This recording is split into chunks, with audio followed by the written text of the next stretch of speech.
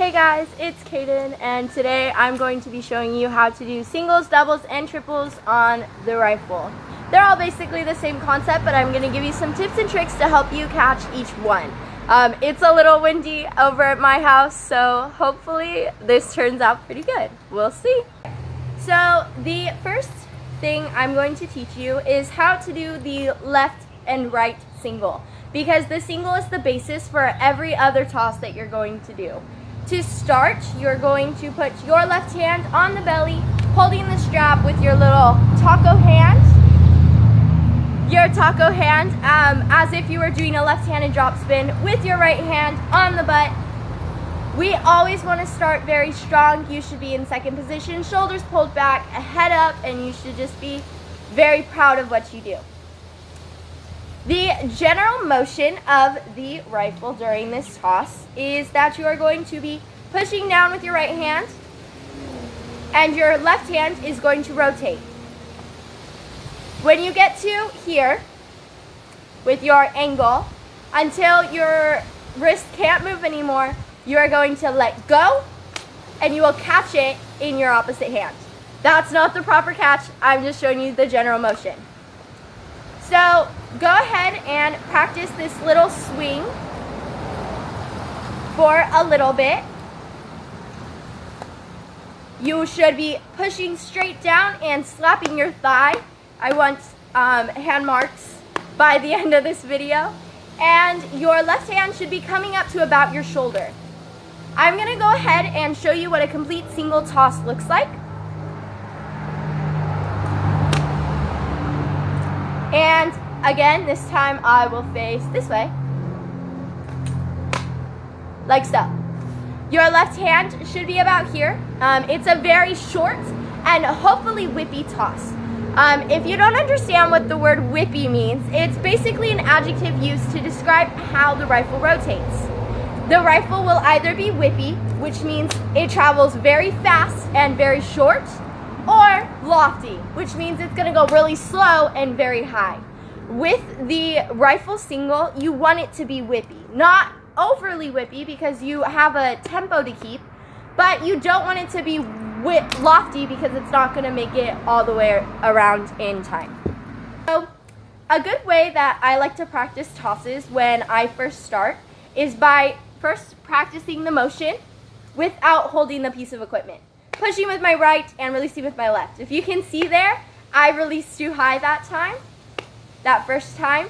So really get into it because you're going to practice the way you perform. The next step, once you feel comfortable with that, and if you aren't, go ahead and pause the video. Um, the next step is practicing the motion that I showed you at the beginning, and then releasing and letting it drop. Now, this is a very scary thing to do um, and it can also be kind of dangerous, so make sure that if you are to do this step, that you're in a nice grassy backyard like I am, or maybe some carpet and there's nothing breakable nearby. Go ahead and do that a couple of times. And pause the video and come back when you're ready. Alright, so now that you've done the motion a couple of times, um, I'm going to show you how to catch. Which basically you're going to catch as if you were going to go into right-handed drop spins. And this is a really cool um, thing because it allows the rifle to go back and forth between the hands during motions. It's all very fluid, um, which is a really cool um, part of the rifle that is makes it one of my favorite things to spin. Um, so the complete rifle, you start like you're doing a left-handed drop spin. You push with your right. You're going to release about shoulder height um, a little lower if you're a guy. If you're a dude, like by your pec. Um, if you're a girl, you can go towards shoulder. And I'm not trying to be like that. Um, my coach used to say that all the time. It's just that if you're taller, you're to have to release a little bit lower. And if you're short like me, you're to have to release a little bit higher. That way it can be even all the way across. So let's go ahead and do it again. As always, make sure that you're catching really strong and starting really strong, not like that. Like so. Okay? So go ahead and practice that a couple times. Um, pause the video and then when you're ready, press play again and I'm gonna show you how to do singles on the right hand. Okay, so singles on the right are a little tricky for a lot of people, as even me when I first started. Um, and that's because the weight distribution of the rifle is not perfectly equal. Um, and when you have the weight distribution on the right, you're gonna have to force um, the rifle to spin around more. It requires a little more flick in your wrist. So you're here, like this is the starting position. You're going to pretend that you're doing a right-handed drop spin. And when you catch the rifle after your right-handed toss, it will be as if you were preparing to do a left-handed drop spin or to do a left-handed toss, which is really cool because as I'll show you in a little bit, you can go back and forth. So the same concept with the right-handed drop spin as we had with the, or the right-handed toss as we had with the left. You're going to push with your left hand this time, slapping your thigh in the process and allowing the rifle to rotate until it can't rotate anymore. Then you will let go. Sorry, that was not cute because I wasn't sure if I wanted to let it go or not. I'm gonna go ahead and let it go. And you should end with your hand about shoulder height. My hand's a little tall. I'm not exactly sure why, but yeah. So I'm gonna go ahead and show you a whole rifle all together. Um, like I said, it's kind of windy right now, so hopefully this turns out okay. Like so. Now, you want your right-handed toss to be just as whippy as your left-handed toss. It's gonna feel really weird, um, but don't be afraid of the weirdness. Get used to it and understand that it's going to be different when you go from your left to your right. So hopefully you took the time to practice your right-handed tosses. And if you didn't catch by all my subtle hints, when you toss from left to right, you can also toss from right to left. So there's no transition needed to go back and forth. Um, and a lot of the exercises that people will do will just be tossing left to right, right to left. Left to right down, right to left down. Left to right up, right to left up. And there will actually um, probably be videos teaching you about those, but typically guards will have their own warm-up routines. That's just the one that my guard does.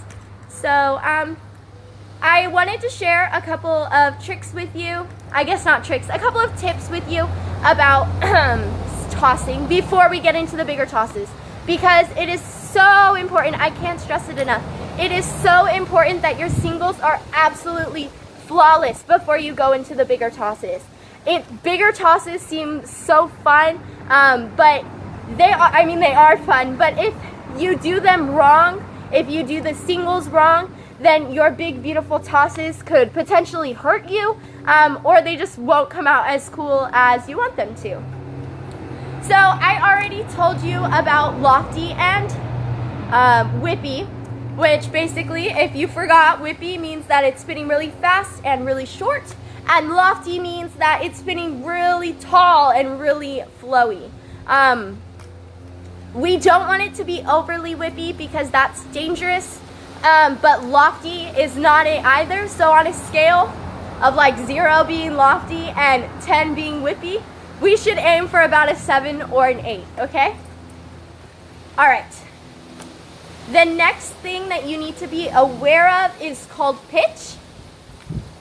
Pitch basically means, um, for example, the metaphor with it is you're standing in a box all around you.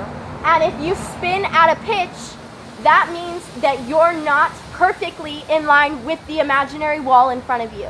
You're at an angle or an angle this way um, or an angle this way or that way. So it's important that you aren't pitchy. A good way to practice this is by practicing in front of a wall. Um, that's what I have to do because I am very pitchy. Um, it's also a lot of trial and error. So make sure that when you're practicing, you record yourself from all different angles.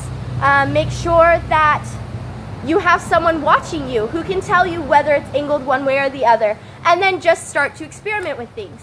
If you're tossing like this, try leaning forward a little bit to counteract. If you're tossing forward, try to lean back a little bit to counteract. Or the way that your hand releases, try to push it forward a little bit or back a little bit to see how that helps. So those are just a couple of tips and tricks to make sure that your singles are absolutely gorgeous before you get into those bigger tosses. So the next level of tossing, it would be a double, which means that it's going to spin two whole rotations in the air. It's the same concept as the singles, except that you're going to release a little bit higher, right above your shoulder. This toss doesn't require a prep, same as the single. Prep basically just means that you bring up, you lift up the butt to make an angle before you push down. It gives you extra power. Um, the double doesn't really require that much, um, but depending on who your guard instructor is and or if there's extra crap extra counts, um, they might have you do a prep. So I will show you a double. So my issue, that problem with that double, is that I do not catch with both my hands at the same time. And that's something that you should be aware with, be aware about during all of your practices, is how was how did that toss go? And what can I do to make it better? That toss was a little low. I'm gonna try to counteract that a little bit. And that one wasn't bad. I did have to move to my right a little bit, um, but that's okay. We'll just say that one was good. Um, so typically with doubles, triples, even quads, those are usually done on the left hand. Um, that's because the right hand usually provides more power um, and it's easier for the rifle's weight distribution um, to spin higher when you toss from your left hand than with your right hand. So go ahead and practice that. Um, if you're having difficulties, go ahead and pitch, or not pitch, go ahead and prep a little bit. And you can see that it makes it a lot easier to toss. Um, remember to not do what I'm doing, which is tossing over here, because that forces the rifle to go this way. You want to bring your hand straight up and right by your shoulder. That way it'll travel upwards. Once you have that done, um, then we'll move on to triples. So go ahead and pause the video if you're not ready. Okay, so triples, again, the same concept. You're going to be this time tossing about your eye. You can definitely prep for a triple, and if that isn't enough power for you, then you can go ahead and do a couple drop spins, prep, go. That just allows the rifle to move, it gets your head focused, and somehow it adds more power to the rifle as it travels through the air. So remember, it's going to be rotating three times. Remember that you should be bringing your left hand right to your eyes, not to the right or the left, because that makes the rifle move in different directions. Make sure that your hand is straight up and down, because if your hand is leaning backwards, your rifle will be pitched backwards, which is my problem. If your hand leans forward, your rifle will be pitched forward. And if your hand is like this, your rifle probably won't travel very far. Um, and also remember that your right hand slaps your thigh because especially for beginners, it's super hard to get enough momentum to toss a triple or a quad. So when you're short like me, it's super difficult to give it enough height. So make sure that you're really pushing super hard with your right hand. That way you can get a nice, beautiful whippy toss. But also, sorry, one last thing. It is okay to be a little lofty at the beginning. Tosses can be super scary and really difficult when you start. So practice a little lofty. Maybe prep a little more than you need to. Um, and then slowly get better and push yourself um, to be better at tossing these big tosses. So it's a little windy. Sorry, I'm going to attempt a triple and then if I mess up, we can discuss what I did wrong. Prep, toss. So that was a triple. Um, I was a little scared because of the wind and I pushed my hand forward and to the side, which caused my rifle to travel to the side of the camera. So let's try again and see if I can correct it.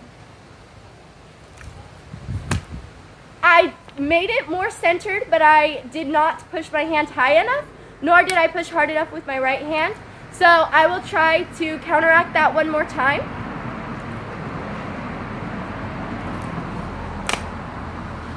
Wasn't too bad of a toss. Um, it was a little pitched, which is kind of my problem. I've been working on it, and it's super hard to get rid of a pitch once it develops. Um, it's just something you got to keep working at. Um, anyway, so that concept of tossing, thinking about what you did wrong, and trying to fix it, um, that is the best way to practice your tosses so that you can develop um, a pattern and develop that technique. Especially when you get into the bigger tosses, it's super important that you're consistent with how you catch and with how you toss. Um, so just keep those things in mind. I hope that this tutorial helps and I hope you guys have a lovely day. Thanks for watching.